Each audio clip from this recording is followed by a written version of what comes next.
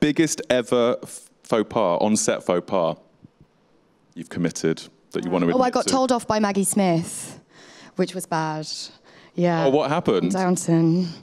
We were we on, on Downton Abbey. You do off. these big uh, dinner party scenes, and they take forever.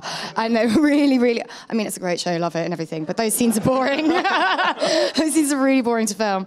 And uh, I was sat opposite Maggie, and. Um, I was on my phone and it was her coverage and I, I it was a long day and I didn't hear that we were ready to go and I just heard this hello and I looked up and she was it's the only time she ever addressed me and she was just staring daggers at me and I was like oh no oh no I'm in trouble with Maggie.